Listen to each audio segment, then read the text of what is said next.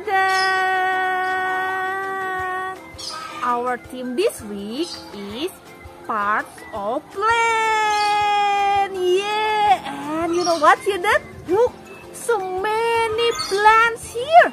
Look.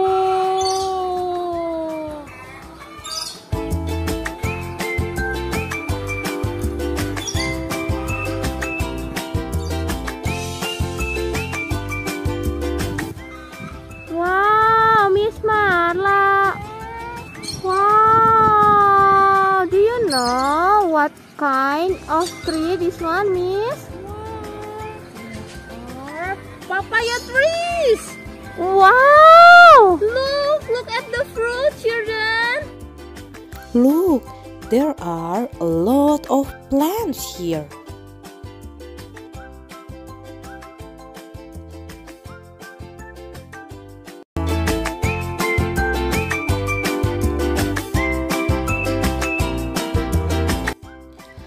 Let's learn parts of plant. Root, stem, leaf, flower, fruits. Now, let's see how the plants grow. A little seed needs water, food, and sunlight to grow healthy and strong. Plants are special because they make their own food, and we help them do this. So, do you have plants at home?